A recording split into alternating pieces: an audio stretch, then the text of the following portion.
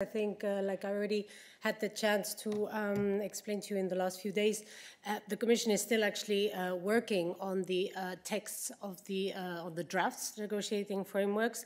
We are currently uh, finalizing the documents. Um, I cannot give you a date when they will be presented. Um, it's clear that our aim is to be able to do it as soon as possible. You know that these draft texts will need to be presented to the Council, and our aim is, of course, to be able to finalize this work and uh, be able to send them to the Council as soon as possible.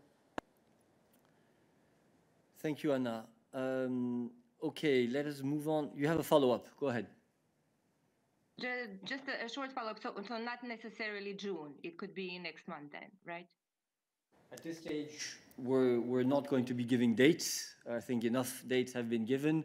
Let us finalize the work and uh, we will make the announcement when the proposals are, when the mandates are ready.